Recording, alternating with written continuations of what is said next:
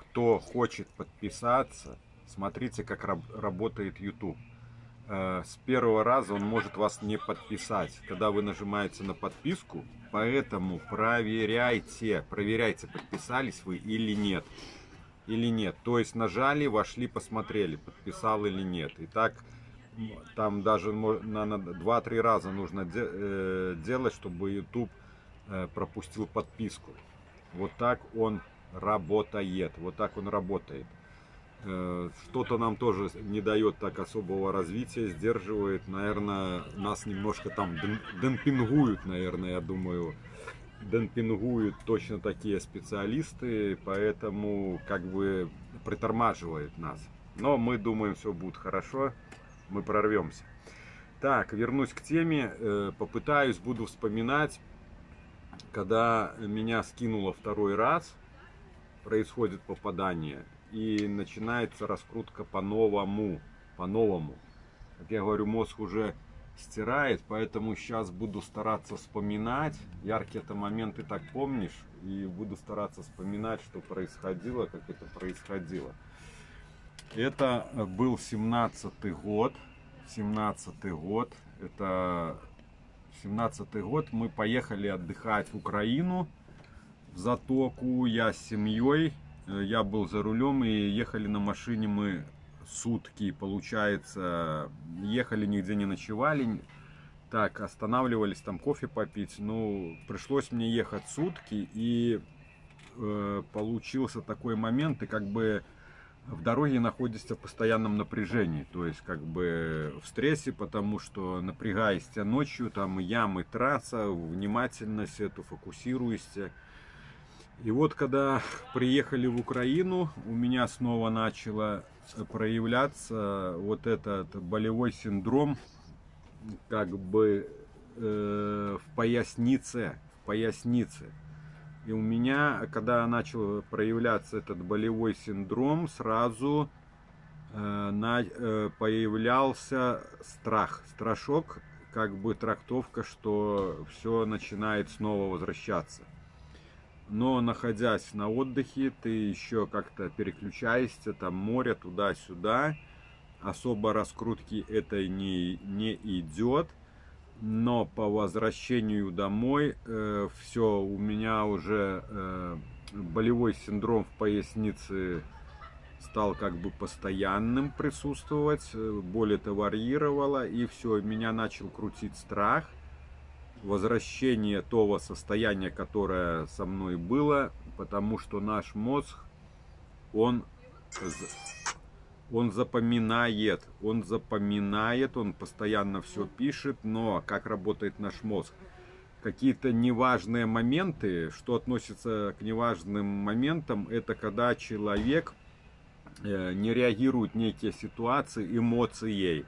И вот это мозг тогда э, стирает. Все моменты, которые были отмечены некой эмоцией, там, например, эмоцией страха или, либо эмоцией радости, он все запечатляет это и остается у нас в нейронной сети, остается, как я называю, в нашей библиотеке.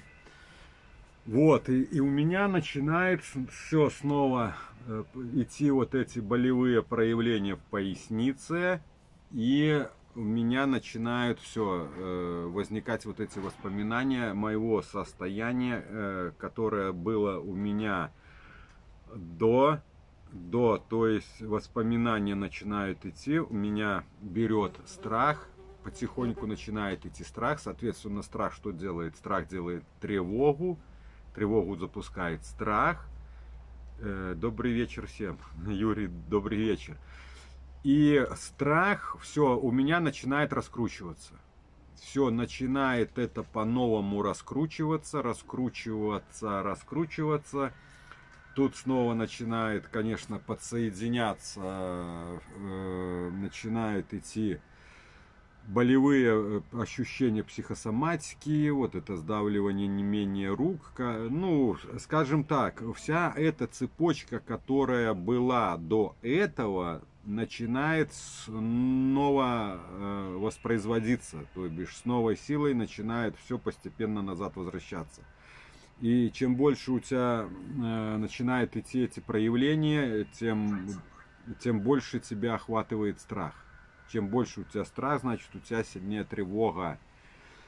Тревога. И все, я начинаю вкручиваться снова, и у меня приходят такие мысли, начинают уже на каком-то этапе, что, блин, уже этот раз я, наверное, с этим не справлюсь, потому что это вот все, что с тобой происходило, невыносимо, и это терпеть, вот эти все ощущения и все остальное, и все память э, возобновляет это все, и мозг начинает посылать, посылать вот это все, что с, э, с тобой было ранее, то бишь начинают идти воспоминания, соответственно, страх, тревога, тревога начинает все это возобновлять.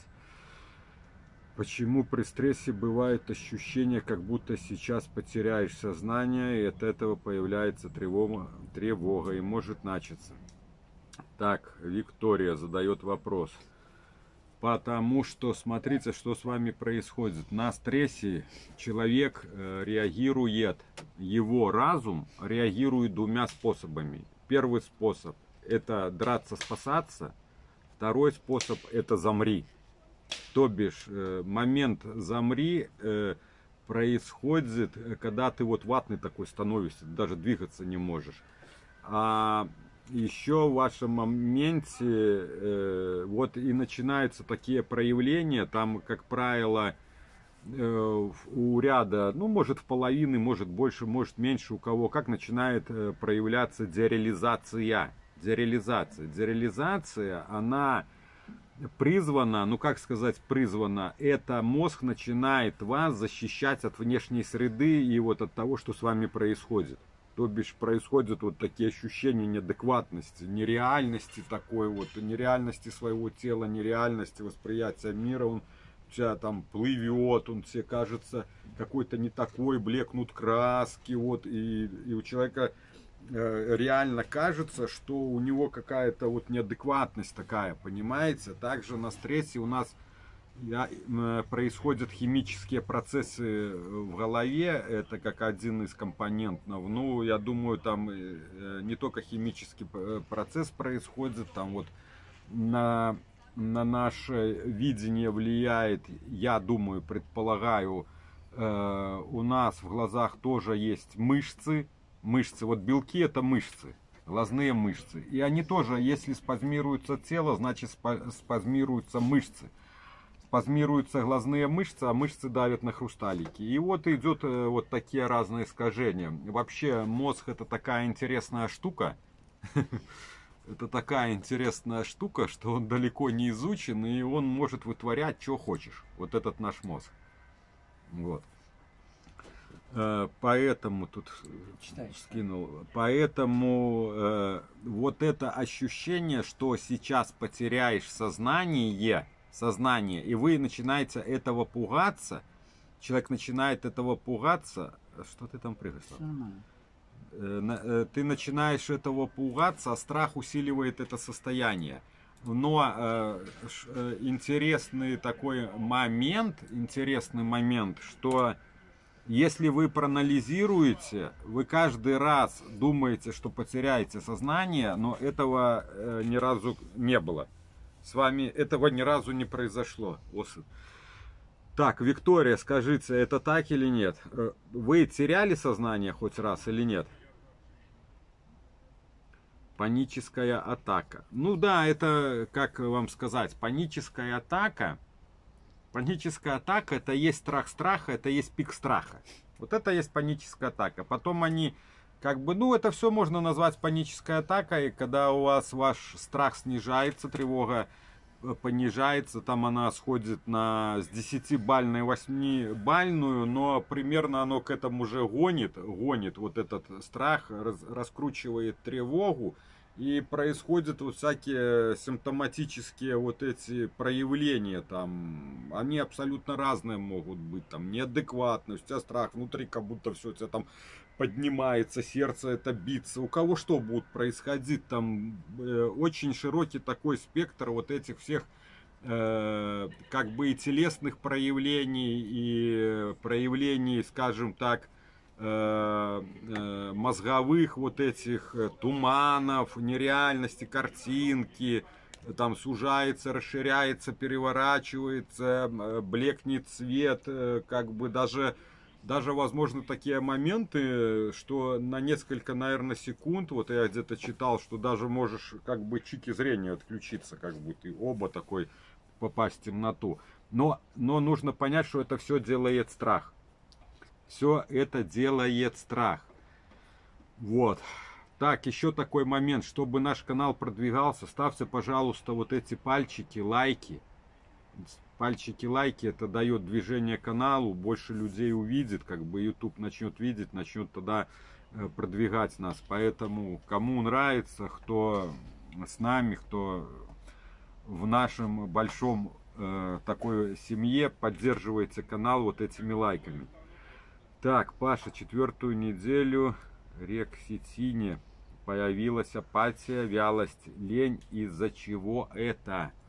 Рекситин. Я э, думаю, понимаете, вот эти все препараты, у них э, они, во-первых, по-разному будут один и тот же препарат влиять э, на, на, на разных людей по-разному.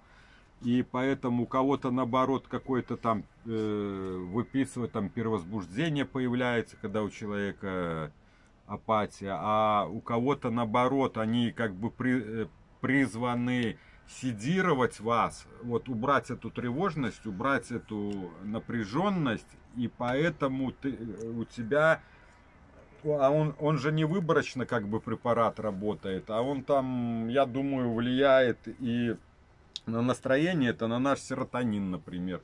То есть человека делает таким э, вялым, вот ему без разницы, как бы вот эта жизнь, она такая тусклая, такая вот он ходит такой, как как говорят, э, как вот болванчик такой, ты ходишь, так, прибитый вот такой, у, у тебя, у тебе как бы все вот э, по барабану, у тебя нету эмоций, эмоционального фона, у тебя ни радости, ни страха, а ты вот в таком, как бы находишься в нейтральном состоянии таком. Вот, поэтому препараты это такой спектр, там влияние их очень тяжело как бы описать, потому что на, э, э, на каждого по-своему будут влиять. Вот даже одни и те же препараты, например, пьют разные люди, а один пишет человек, ой, мне так хорошо помогает, там, я там вышел, как бы там, а другой человек пишет, что они для него вообще никак.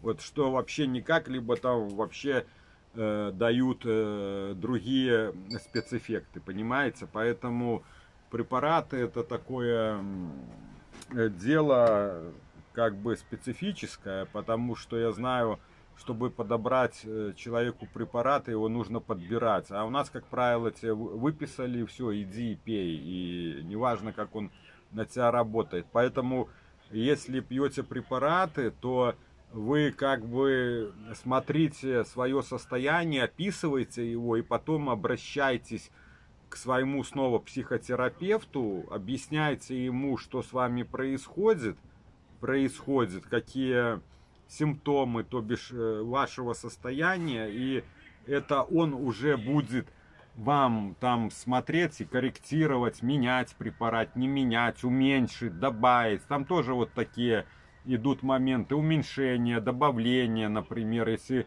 доза, скажем, высокая, может влиять на вашу вот эту апатию, значит, может уменьшить дозу вот этого препарата. Ну, это уже сугубо такое момент, это к своему ведущему врачу, психотерапевту, чтобы он вам регулировал вот эти препараты. Уже по вашему состоянию как бы вас корректировал.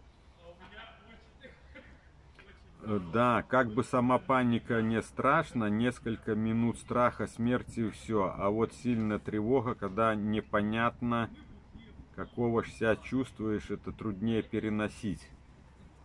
Как э, овощ себя чувствуешь, это труднее переносить. Э, понимаете, вот э, когда вот я пару раз э, выпивал лирику, лирику, вот я выпивал, и ты вот такой препарат, И ты в приори, я не мог собрать свои мысли. Вот я как бы пытался что-то подумать, но они у тебя как-то вот, они там плывут или я не понимаю. А ты вообще вот не понимаешь, ты не можешь просто сфокусироваться. Тебя вот шатает, ты как будто такой